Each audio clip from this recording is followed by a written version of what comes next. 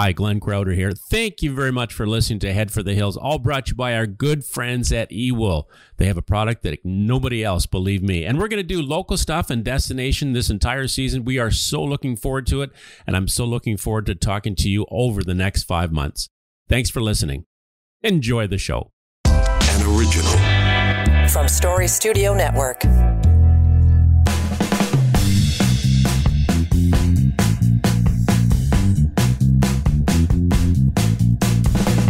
Well, here we go.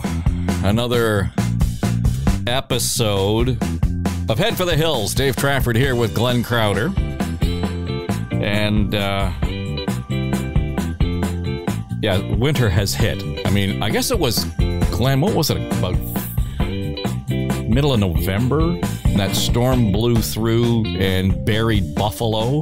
Yeah. Kind of reminded us, okay, well, shit happens when winter comes. Yeah, isn't that the but, truth? But you know, we're starting to feel that right across. I mean, the, the Colorado lows that are bringing uh, snow and uh, so on to this part of the world, um, and we've been talking to some of the resort owners and folks who are looking forward to. Uh, you know, having a first full season under their belt as opposed to lockdowns and so on. We keep talking about that, but there's just this general sigh of relief that comes with seeing the snow and people being able to get back out at the resorts. No question, Dave. And uh, I just came back from Quebec. Uh, right from the Laurentians at Mont Tremblant, uh, over to uh, Saint-Sauveur near Montreal, and then over to uh, Mount Sutton in the Eastern Townships. And they need snow as well. So it's not just a Toronto or an Ontario thing. Um, this weekend, I've just got a call from uh, Kevin Nickel from uh, the Ontario Ski Resorts uh, Snow Resorts Association mentioning that Boler Mountain is going to be open this weekend. That's the one in London. We talked about that Mm-hmm. magnificent snowmaking. That place is going to be open this weekend, along with Horseshoe Valley in Barrie, uh, Blue Mountain up in Collingwood, and they'll all join Mount St. Louis Moonstone, who's been open for three weeks because of their magnificent snowmaking. So there's no question that uh, the eastern eastern part of Canada certainly needs some snow, and they're talking about some good snow coming up in Ontario, so it works out perfect. Yeah, and, and and I think that's just sort of one of the things that people are keeping an eye in and, and an ear on. Um, it's it's funny. Uh, on the one hand, we'll hear people bitching and moaning about the snow coming, and on the other hand, they're all excited about the snow coming. So uh, we'll, we'll get her done. One of the biggest questions I had this week, though, from uh, a listener who dropped into first uh, episode actually of Head for the Hills this season, and um, she said to me, "You know." We used to listen to the radio in Toronto, and there was a guy on the radio, and his name was Wally Crouter. I said, "Yeah, yeah, I remember Wally." He says, "I, you know, I heard that ski show thing you do, and I just wondered, is is Glenn any relation to Wally?" And I said, "Yeah, he might be." Down the food chain. That, uh, dear old dad passed away about six years ago, but uh, he's still with us in heart, I guess. Yeah, indeed, and uh, and it's it's funny how uh, th- those are the memories that kind of come to uh, come to light when we start talking about that. So yes, indeed, uh, the uh, the apple didn't fall far from the tree here. Glenn Crouter here, and we're uh, getting into the uh, whole question of new gear. I know we've been talking about resorts, and we're kind of sprinkling in some of the the new technology, the new gear that's out there. So a lot of it has to do with safety. A lot of it has to do with comfort, and part of that comfort comes from our friends at eWool, who are uh, you know good enough to step up and sponsor the show. And uh, that to me is a huge breakthrough. I know we're going to talk about you know all the other gear that goes along with it, but you know what? Making it that much more comfortable when you're out in the cold and the blowing snow. You got me right there. Hundred percent. Um, and again, I used it this weekend. I tried the uh, the socks. Now they're a little different. I have to admit, they're fantastic, and they keep your feet warm. They're they they call them overlays. So what you do is you have your ski sock on, and then you put the heated sock, what has an empty like a, a an, uh, how can I say this? The heel is taken away. So Right. basically, you just slide this over top of your sock, and it keeps you super warm. Because we had a couple cool days in Quebec, minus ten, minus eleven for the early going. So uh, there's no question about it. But I'll tell you what, my head boots, uh, you don't really need it. And we're going to bring on Chris uh, Vanderknokke shortly, talk about head and, and all the equipment that's coming up. But eWool has some like really their products are just above and beyond. When I go into the chalet and I take my jacket off, people go, "Where'd you get that vest? What is that vest?" And they see the little red light. Uh, they know that it's a heated vest. So yeah, they've got the, the top product right across the boards. Yep, Glenn is wired when he gets off the slopes. There you go. uh, yes, or you want to check out their product, ewool.com.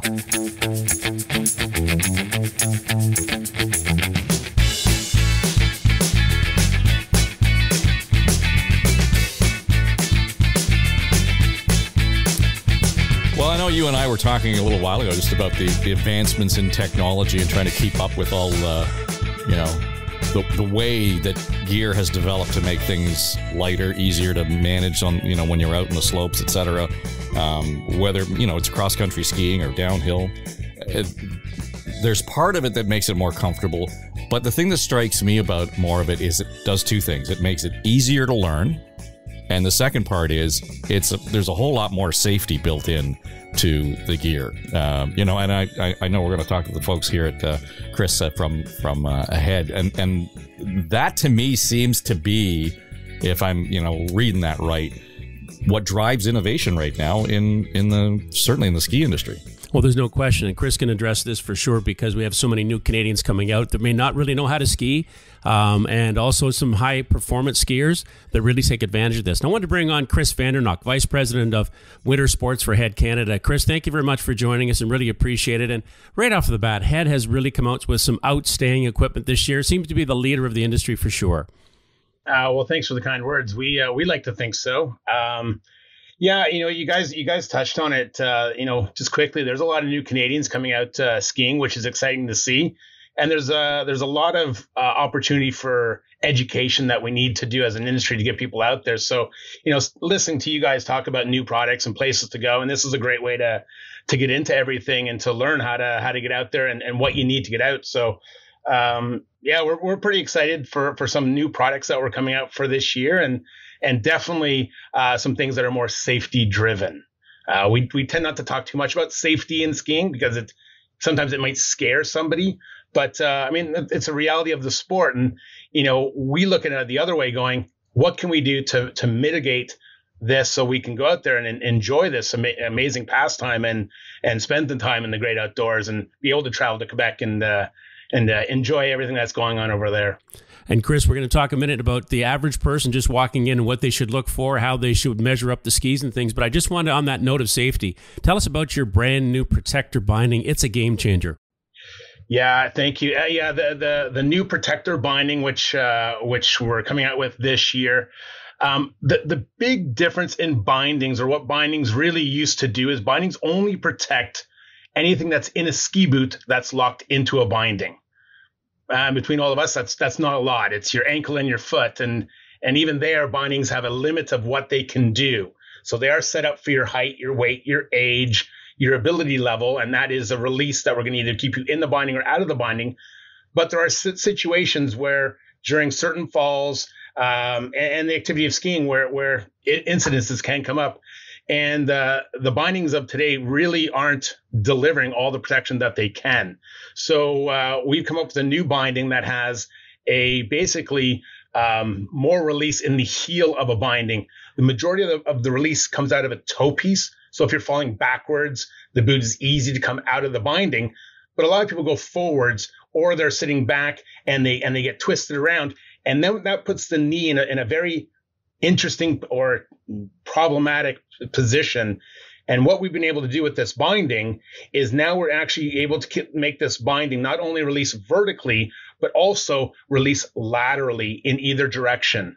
So if you do have a fall where you're sitting back, your waist goes behind your knees, and we're putting this undue stress on our knees, the ability of this binding is it will allow you to slide out laterally if you need it. If you don't need it, it's going to laterally keep you back in. So with this binding, we can reduce the risk of knee injuries by up to 50%. And wow. that's, that's a pretty big number. A significant number for sure. Um, that means I'll only rip up one knee as opposed to both knees. yeah, one knee's better than both knees, but no, the, the goal is uh, we don't want any knees. this, uh, this, coming from a guy who's sitting in the studio.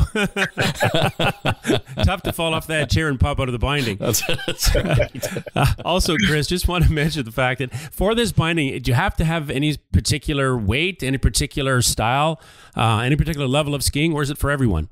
You know, it's uh, it is a binding for everyone. Right now, as we're launching it out, it is, it is being launched at of more of a mid to high level aspect. Um, but this is during the launch of it, trying to get people customized, easy to talk about the technology, uh, and go from there.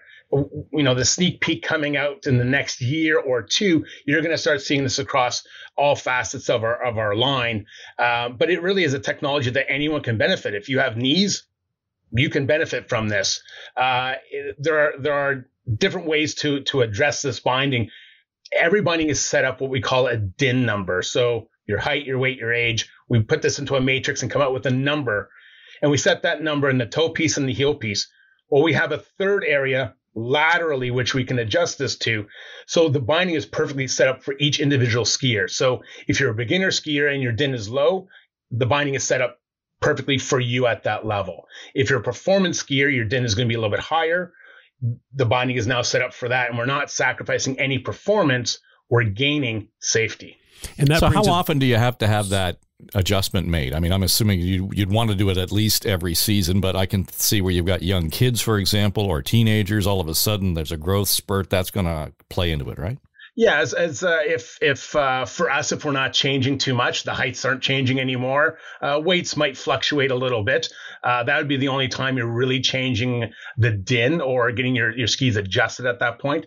Uh, but it's usually done once a year or once it's set up properly.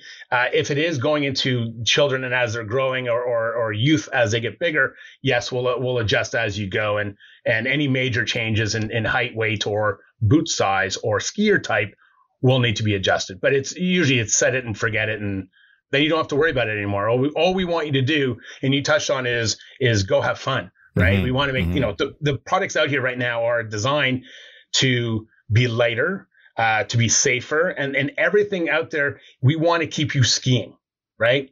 Whatever, if it's lighter, you're less fatigued. You ski longer, you're, you're safer. You know, we have goggles with with more high cost, uh, high contrast in the lenses, less fatiguing of the eyes, better color clarity and definition, so you can see all the issues ahead of you. You're safer. Um, skis are much lighter, so even carrying them to and from the from the car, you're less fatigued. You're skiing longer. Boots are more comfortable. I mean, Glenn talked about his boots. Thank goodness they're good. Uh, you know, they, they are more comfortable. Uh, they flex easier. Some of them are lighter. Again, less fatiguing, ski longer, more enjoyment. Chris, the most important part, I think you hit a note there, is the fact is that people should take their bindings, and I've, I stress this each and every year. Take your bindings to a pro shop right off the bat at the beginning of the year. There's probably a little bit of tightness after the winter, sitting around after the all sorts of things that can happen to bindings, as well as I was. It was pretty funny because Jeff Salter from Sporting Life, I took my skis and bindings to him. It was like a brand new car coming out of the line when they everybody saw the this binding because he said all the technicians ran to the back as he installed the uh, the binding. So this truly is a game changer and it's getting a lot of attention. So congratulations on that. As for the binding, that's tremendous. But how about the skis? I'm really confused because in the old days we used to measure our skis the bottom of our of our hand. I think those days I'm hoping are over because my son is six seven, so he'd have to put put down a, a tree if he's going to go ski. So I think that that may have changed if that uh, if that's correct. Yes, uh, we've we've evolved this a lot more. It, it's interesting. Before, with the skis were much narrower, we needed the length of the ski to be stable because we, we and we needed the width of the ski for the agility. So we all skied, you know, feet close together. We bend the knees, uh, twenty dollars please, as we ski down, and we waggle our our butts down the ski hills. well, with the with the advantage of shape skis and wider skis, our, our stance now gets a little wider. Our skis get shorter. So now our stance becomes the agility and the balance that we want, and the length of the ski is more the the turning ability. So if we go to a little longer ski, we're usually skiing a little higher speeds, a little bit larger turns, and we can go shorter skis, a little bit quicker turning. So this is a great advancement, particularly in Ontario or Quebec, where the hills are a little shorter. We're not skiing skis that are two meter 10, or we're skiing skis that are 170 centimeters, 170 centimeters. So easier to use. You know, the, the, the tip of the ski is right there. So it reacts so much quicker your positivity, your reaction from the skis is, is amplified. Uh, it, they're way more fun. So yes, skis are much much shorter, uh, more based on your weight, uh, your weight rather than your uh, height. Are they going to get much wider? I think we maxed out. We there was there was a, a, few years ago where you're seeing some some skis getting up to 125, 128 underfoot millimeters. This is massive. Like that, that you basically could take them water skiing, uh, and some people did. Uh, we, we've we've brought this brought this down a little bit more, and we max out at a 117 underfoot, which is a pro model ski. I mean, if you're in a helicopter, that's the ski you want to be in. Yeah. Uh, for the rest of us mere mortals, we're finding that the average is between, let's say, 70 millimeters to 100 millimeters. And in, in that range there, you're, you're basically playing the difference between more of a sports car when we go a little narrower or more of an SUV where we're going a little wider so it handles more snow conditions a little bit easier. So in the east, we're, we're playing around with a little bit narrower waist. And in the west, where they have the, the much deeper snow and the larger hills, uh, they're definitely playing in the wider footprints. Chris, when I take a look at skiing, I talk to an awful lot of people, and uh, the number one concern for a lot of people, the skis are fantastic. When, again, go to a pro shop, get fitted up properly, but the boots are the point that really can make or break your day. And uh, my when I put on the heads that um, that I was fortunate enough to have, I put them on instantly and never had a problem. And I ski all the time, and I really think that the advancement, especially with the head, for the comfort of the boots, has really advanced. It's it's uh, you know 100% the boot is the most important aspect in, in the skiing you can go. I mean, we can talk about the safety of the bindings, which is, is, is very, very important. But if your boots don't fit, you're not in your skis. So the bindings don't matter. The boots have to fit, particularly if you're going anywhere, you know, kind of a drive. Figure if you're, if you're driving from Toronto and you're going out to Quebec and your boots don't work, you're sitting in the chalet, everything's wasted. So boots 100% are the most important uh, piece of equipment we can buy. And the evolution of boots is that they're more anatomically correct off the bat. So the internal shape, we work a lot, uh, a lot of hours on to make sure that when you slide that foot in, the foot sits flat. It's a, it's a very positive experience out of the box. If it doesn't work, and, and some people have that ability, just pop on a boot, foot works, no problem. I, on the other hand, have a very high instep, a little wider forefoot. I need a little more love and, and nurturing to get into my boots. Um, so we work with specific plastics that are easy to uh, to mold uh, very very quickly. Obviously, go into a store. Uh, there's professional people who can um, fit your boots for you and, and really uh, make the make them sing to your individual foot. Um, but we really, really spend a lot of time on the quality of the liners. So the one unique thing about our boots is our liner um, we actually want you to heat mold it. We want you to put that whole boot in, into an into a specific oven, warm up the boot, and activate this liner. And the neat thing about our liner is the foam will actually expand where it needs to expand and compress where it needs to compress. So not only are we trying to build a boot for a generic person to fit into, we can now take this generic boot and v- quickly, quickly personalize it to your specific foot.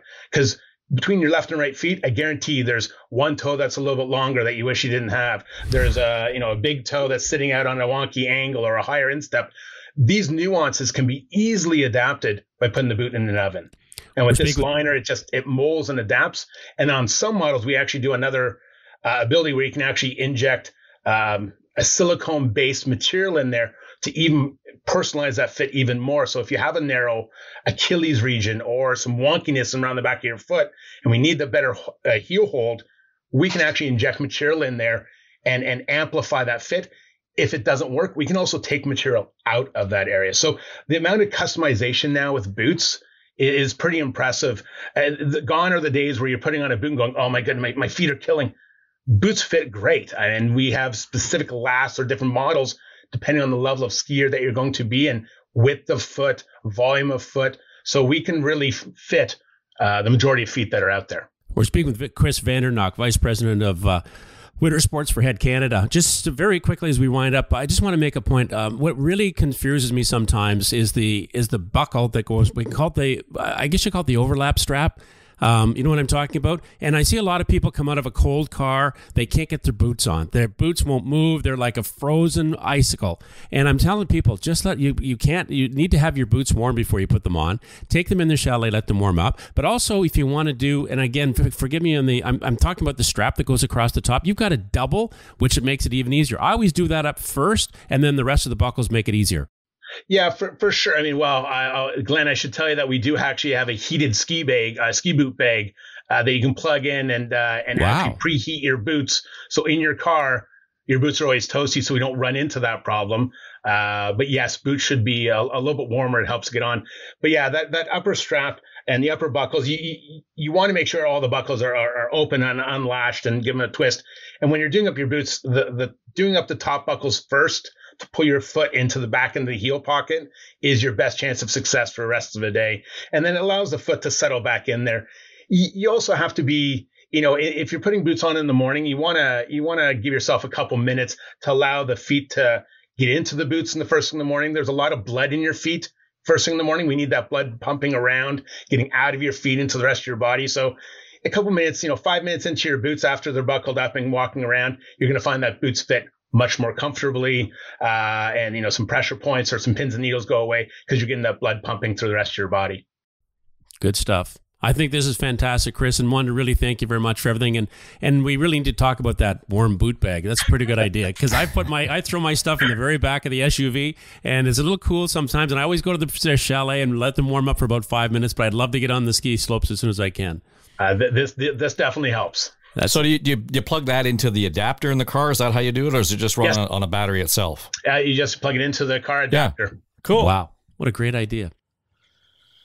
Chris yeah. Vanderknokke, want to thank you very much. Uh, really appreciate your help. The equipment is fantastic. I get more and more people knock on my back saying, "Where'd you get those? Where'd you get those boots? Where'd you get those skis? They look like they they really perform." As I've mentioned in Quebec, I've skied in some powder, I've skied in some ice, and my goodness, that ski performs like with a combination of a boot like I've never seen before.